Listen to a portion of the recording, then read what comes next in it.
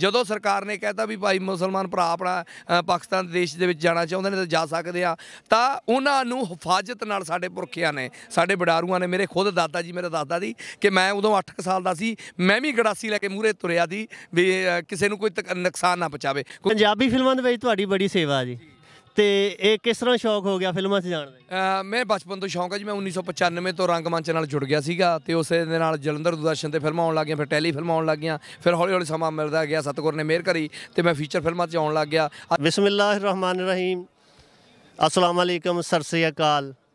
ਦੋਸਤੋ ਚੈਨਲ ਸਾਡਾ ਦੇਸ਼ ਪੰਜਾਬ। ਅੱਜ ਅਸੀਂ ਮੌਜੂਦ ਹਾਂ ਗੁਰਦੁਆਰਾ ਨਨਕਾਣਾ ਸਾਹਿਬ। ਵਿਸਾਖੀ ਦੀਆਂ ਜਿਹੜੀਆਂ ਤਕਰੀਬਾਤ ਨੇ ਉਹ ਚੱਲ ਰਹੀਆਂ ਨੇ।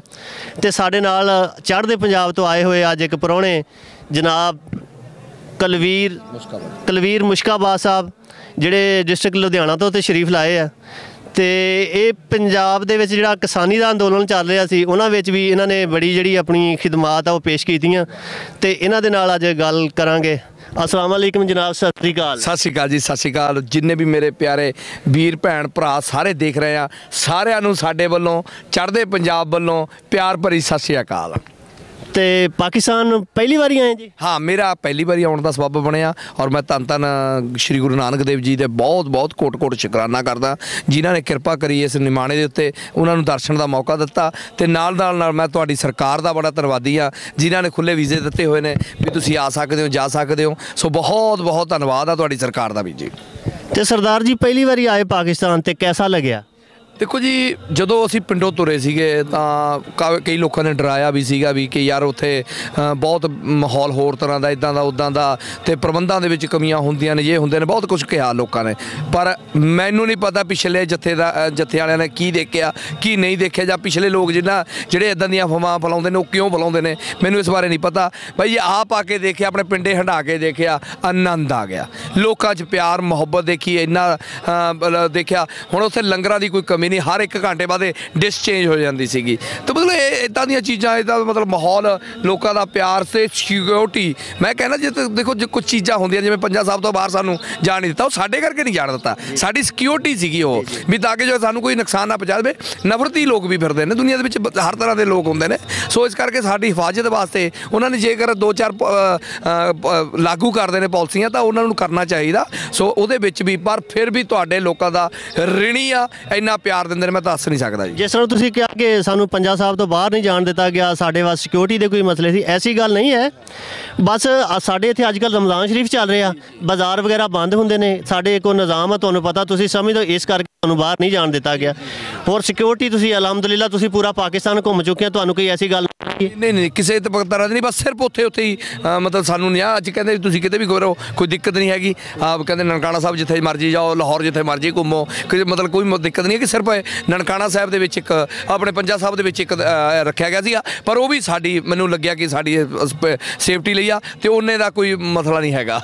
ਪੰਜਾਬੀ ਫਿਲਮਾਂ ਦੇ ਵਿੱਚ ਤੁਹਾਡੀ ਬੜੀ ਸੇਵਾ ਜੀ। ਤੇ ਇਹ ਕਿਸ ਤਰ੍ਹਾਂ ਸ਼ੌਕ ਹੋ ਗਿਆ ਫਿਲਮਾਂ 'ਚ ਜਾਣ ਦਾ? ਅ, ਮੈਂ ਬਚਪਨ ਤੋਂ ਸ਼ੌਂਕ ਹੈ ਜੀ ਮੈਂ 1995 ਤੋਂ ਰੰਗਮੰਚ ਨਾਲ ਜੁੜ ਗਿਆ ਸੀਗਾ ਤੇ ਉਸੇ ਦੇ ਨਾਲ ਜਲੰਧਰ ਦੂਰਦਰਸ਼ਨ ਤੇ ਫਿਲਮਾਂ ਆਉਣ ਲੱਗੀਆਂ ਫਿਰ ਟੈਲੀ ਫਿਲਮਾਂ ਆਉਣ ਲੱਗੀਆਂ ਫਿਰ ਹੌਲੀ ਹੌਲੀ ਸਮਾਂ ਮਿਲਦਾ ਗਿਆ ਸਤਗੁਰ ਨੇ ਮਿਹਰ ਕਰੀ ਤੇ ਮੈਂ ਫੀਚਰ ਫਿਲਮਾਂ 'ਚ ਆਉਣ ਲੱਗ ਗਿਆ। ਅੱਜ ਕੱਲ ਮੈਂ ਪੰਜਾਬੀ ਤੇ ਹਿੰਦੀ ਦੋਨੋਂ ਫਿਲਮਾਂ ਦੇ ਵਿੱਚ ਮੈਂ ਕੰਮ ਕਰ ਰਿਹਾ। ਮੇਰੀ ਹੁਣ ਤੱਕ ਤਕਰੀਬਨ ਲਗਭਗ 35 ਤੋਂ 40 ਫਿਲਮਾਂ ਪੰਜਾਬੀ ਆ ਚੁੱਕੀਆਂ ਨੇ ਤੇ ਉਸ ਤੋਂ ਵੀ ਕਿਤੇ 2 250 ਦੇ ਕਰੀਬ 'ਚ ਮੇਰੇ ਗਾਣੇ ਤੇ ਸ਼ਾਰਟ ਫਿਲਮਾਂ ਹੋ ਚੁੱਕੀਆਂ ਨੇ ਔਰ ਅ, ਹਿੰਦੀ ਫਿਲਮਾਂ ਤਿੰਨ ਹੋ ਚੁੱਕੀਆਂ ਨੇ ਜਿਨ੍ਹਾਂ ਦੇ ਵਿੱਚੋਂ ਇੱਕ ਫਿਲਮ ਸੈਟਲਾਈਟ ਸ਼ੰਕਰ ਮੇਰੀ ਰਿਲੀਜ਼ ਹੋ ਚੁੱਕੀ ਹੈ ਜੀ। ਕਿਸਾਨੀ ਅੰਦੋਲਨ ਦੇ ਵਿੱਚ ਤੁਹਾਡਾ ਜਿਹੜਾ ਇੱਕ ਬਹੁਤ ਵੱਡੀ ਤੁਸੀਂ ਸੇਵਾ ਨਿਭਾਈ, ਉਹ ਸੇਵਾ ਕਰਕੇ ਕਿਹੋ ਜਿਹਾ ਮਹਿਸੂਸ ਹੋਇਆ? ਦੇਖੋ ਜੀ, ਮੈਂ ਸਤਿਗੁਰ ਦੀ ਮੇ- ਬਹੁਤ ਸ਼ੁਕਰਾਨਾ ਵੀ ਉਹ ਸੇਵਾ ਮੇਰੇ ਕੋਲੋਂ ਲਈ। ਕਿਸਾਨੀ ਅੰਦੋਲਨ ਇੱਕ ਪਾਕ ਪਵਿੱਤਰ ਅੰਦੋਲਨ ਸੀਗਾ, ਜਿਹੜਾ ਕਿ ਆਪਣੇ ਕਿਸਾਨਾਂ ਵੀਰਾਂ ਦੇ ਹੱਕਾਂ ਲਈ ਲੜਾਈ ਸੀਗੀ। ਉਹਦੇ ਨਾਲ ਕੋਈ ਸਰਕਾਰ ਦਾ ਕੋਈ ਲੈਣਾ ਦੇਣਾ ਨਹੀਂ ਸੀਗਾ। ਸਰਕਾਰ ਸਾਡੇ ਤੇ ਤਿੰਨ ਕਾਨੂੰਨ ਥੋਪਣਾ ਚਾਹੁੰਦੀ ਸੀਗੀ, ਜੋ ਕਿ ਸਾਡੇ ਕਿਸਾਨਾਂ ਦੇ ਜੀਵਨ ਤੇ ਤੇ ਗ੍ਰਾਹਕਾਂ ਦੇ, ਖਰੀਦਦਾਰਾਂ ਦੇ ਉੱਤੇ, ਸਾਰਿਆਂ ਦੇ ਉੱਤੇ ਬਹੁਤ ਮਾਰੂ ਪ੍ਰਭਾਵ ਪਾਉਂਦੇ। ਸੋ ਉਸ ਕਰਕੇ ਅਸੀਂ ਇਹ ਉਸ ਬਗਾ- ਲੜਾਈ ਲੜੀ ਤੇ ਉਹ ਲੜਾਈ ਜਿਹੜੀ ਆ, ਇੱਕ ਸਾਲ ਤੋਂ ਵੀ ਕਿਤੇ ਵੱਧ ਦੀ ਸਾਡੀ ਲਗਾਤਾਰ ਦਿੱਲੀ ਦੇ ਵਿੱਚ ਚੱਲੀ, ਜਿਹਦੇ ਵਿੱਚ ਅਸੀਂ ਆਪਣੇ ਜਾਬਤੇ ਨਾਲ ਠਰਮੇ ਨਾਲ ਤੇ ਅ, ਇਕਜੁੱਟ ਹੋ ਕੇ ਬੈਠੇ ਰਹੇ ਤੇ ਹਕੂਮਤ ਨੂੰ ਸਾਡੇ ਅੱਗੇ ਝੁਕਣਾ ਪਿਆ ਤੇ ਅਸੀਂ ਵਾਹਿਗੁਰੂ ਦੀ ਕਿਰਪਾ ਨਾਲ ਸਤਿਗੁਰ ਦੀ ਪੂਰੀ ਮਿਹਰ ਨਾਲ ਅਸੀਂ ਉਹ ਆਪਣੀ ਜਿੱਤ ਹਾਸਲ ਕੀਤੀ ਆ। ਮਗਰ ਸਾਡੀਆਂ ਹਜੇ ਵੀ ਬਹੁਤ ਸਾਰੀਆਂ ਡਿਮਾਂਡਾਂ ਨੇ ਜਿਹੜੀਆਂ ਹਲੇ ਸਰਕਾਰ ਸਾਡੀਆਂ ਨਹੀਂ ਪੂਰੀਆਂ ਕੀਤੀਆਂ ਜਿਨ੍ਹਾਂ ਦੇ ਉੱਤੇ ਹਜੇ ਵੀ ਸਾਨੂੰ ਦੁਬਾਰਾ ਬਾਰ-ਬਾਰ ਸਰਕਾਰ ਦੇ ਨਾਲ ਬਾਰ-ਬਾਰ ਸਾਨੂੰ ਸੰਘਰਸ਼ ਕਰਨਾ ਪੈ ਰਿਹਾ। ਪਾਕਿਸਤਾਨ ਆਏ ਤੁਹਾਨੂੰ ਕਈ ਦਿਨ ਹੋ ਗਏ ਕਾਫੀ ਲੋਕਾਂ ਨਾਲ ਮਿਲੇ ਪਾਕਿਸਤਾਨੀ ਲੋਕਾਂ ਦਾ ਪਿਆਰ ਕਿਹੋ ਜਿਹਾ ਲੱਗਾ?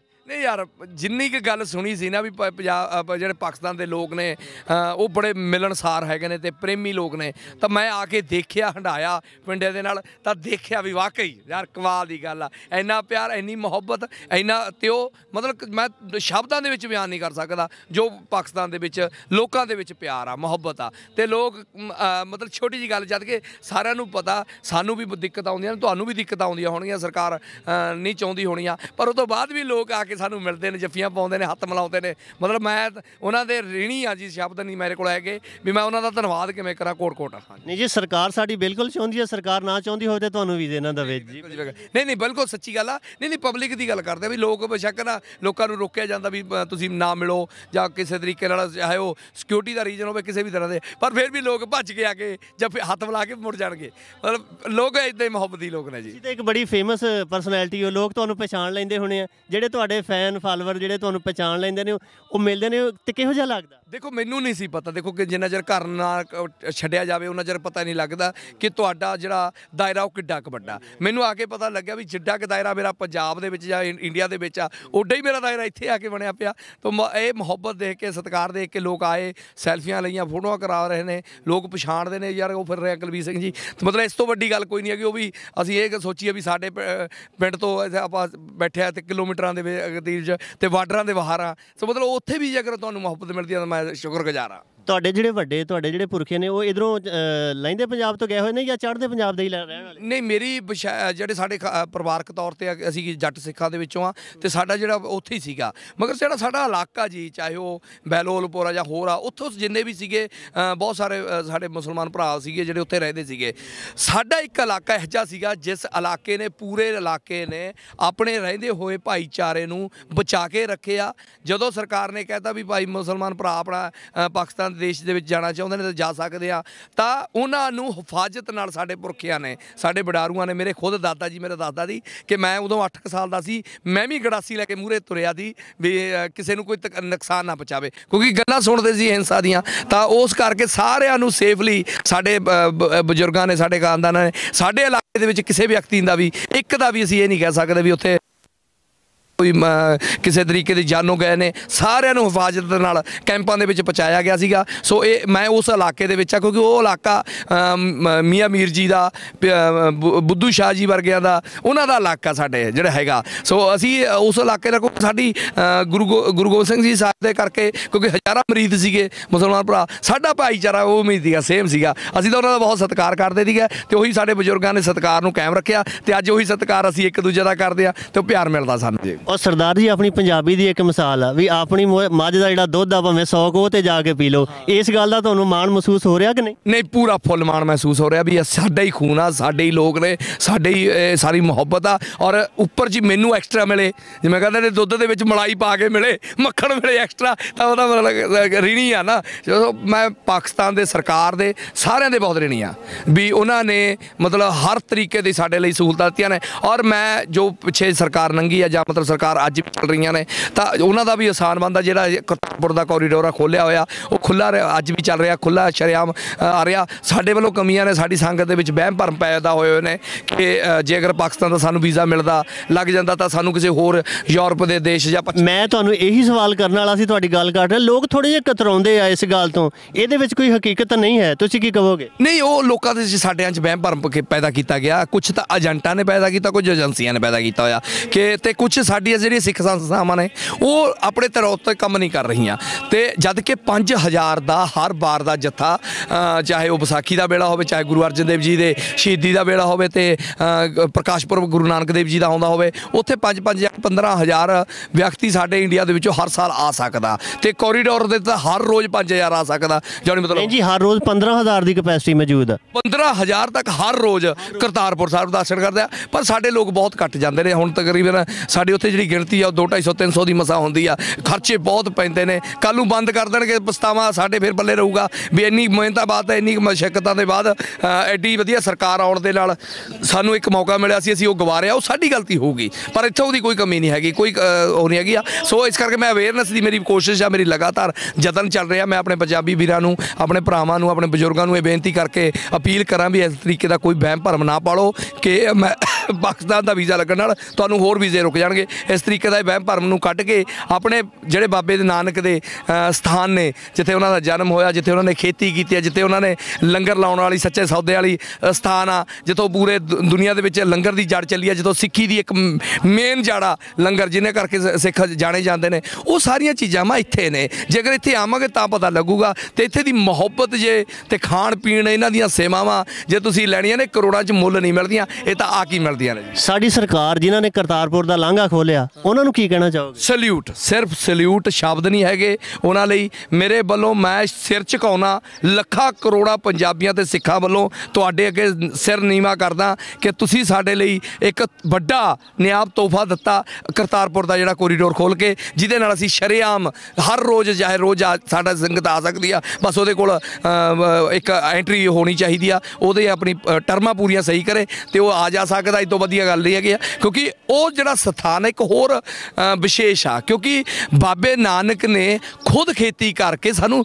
ਖੇਤੀ ਦੇ ਉਪਦੇਸ਼ ਦਿੱਤਾ। ਨਾ ਕਿ ਇੱਕ ਬਾਬਿਆਂ ਵਾਂਗੂ, ਪਖੰਡੀਆਂ ਵਾਂਗੂ ਉਪਦੇਸ਼ ਦਿੱਤਾ ਕਿ ਤੁਸੀਂ ਡੇਰਿਆਂ ਦੇ ਬਹਿ ਕੇ ਉਪਦੇਸ਼ ਦਿੱਤਾ। ਉਹਨਾਂ ਨੇ ਕਿਰਤ ਕਰਕੇ ਦਿਖਾਈ ਆ। ਉੱਥੇ ਹੀ ਉਪਦੇਸ਼ ਦਿੱਤਾ, ਕਿਰਤ ਕਰੋ, ਨਾਮ ਜਪੋ ਵੱਢ ਕੇ ਛਕਣ ਵਾਲਾ ਜਿਹੜਾ ਉਪਦੇਸ਼ ਆ, ਉੱਥੇ ਆਉਂਦਾ। ਸੋ ਉੱਥੇ ਜਾ ਕੇ ਸਾਨੂੰ ਸਾਰਿਆਂ ਨੂੰ ਸੀਸ ਝੁਕਾਉਣਾ ਚਾਹੀਦਾ, ਸਿਰ ਝੁਕਾਉਣਾ ਚਾਹੀਦਾ ਇਸ ਸਥਾਨ ਦੀ। ਤੇ ਪਤਾ ਨਹੀਂ ਕਿਉਂ ਪੰਜਾਬੀਆਂ ਦੇ ਵਿੱਚੋਂ ਜਿਹੜਾ ਵਹਿਮ ਆ, ਉਹ ਜਲਦੀ ਦੂਰ ਹੋ ਜਾਊਗਾ। ਮੈਨੂੰ ਇਹ ਵੀ ਆਸ ਹੈਗੀ ਆ। ਤੁਸੀਂ ਪਹਿਲੇ ਕਰਤਾਰਪੁਰ ਸਾਹਿਬ ਜਾ ਚੁੱਕੇ ਹੋ ਜੀ ਉਸ ਸਾਈਡ ਤੋਂ ਇੰਡੀਆ ਵੱਲੋਂ ਕਰਤਾਰਪੁਰ ਆਏ? ਮੈਂ ਇੱਕ ਵਾਰੀ ਉੱਥੇ ਜਾਣ ਦੀ ਕੋਸ਼ਿਸ਼ ਕੀਤੀ ਸੀ ਮੇਰੇ ਕਿਸੇ ਨਾ ਕਿਸੇ ਕਾਰਨ ਕਰਕੇ ਪੇਪਰ ਪੂਰੇ ਨਾ ਹੋਣ ਕਰਕੇ ਮੈਂ ਕੁਝ ਮੈਨੂੰ ਕਿਸੇ ਨੇ ਮਿਸਗਾਈਡ ਕਰਤਾ ਸੀਗਾ। ਮੈਂ ਉਸ ਤਰੀਕੇ ਨਾਲ ਜਾਣ ਦੀ ਕੋਸ਼ਿਸ਼ ਕੀਤੀ ਫਿਰ ਉੱਥੋਂ ਮੈਨੂੰ ਨਹੀਂ ਜਾਣ ਦਿੱਤਾ। ਫਿਰ ਮੈਂ ਇਸ ਤਰੀਕੇ ਨਾਲ ਹੁਣ ਮੈਂ ਆਇਆ ਤੇ ਹੁਣ ਅਗਲੀ ਵਾਰੀ ਮੈਂ ਆਪਣੇ ਉਹ ਜਿਹੜੀਆਂ ਦੂਜੀਆਂ ਟਰਮਾਂ ਨੇ ਜਿਵੇਂ ਉੱਥੋਂ ਮੈਂ ਆ ਜਾ ਸਕਦਾ ਮੈਂ ਆਪਣੇ ਬੰਦਿਆਂ ਨੂੰ ਆਪਣੇ ਦੋਸਤਾਂ ਨੂੰ ਆਪਣੇ ਫਿਲਮੀ ਕਲਾਕਾਰਾਂ ਨੂੰ ਆਖਰ ਲੈ ਕੇ ਜਾਂਦਾ ਰਹੂੰਗਾ ਸਾਲ ਦੇ ਵਿੱਚ।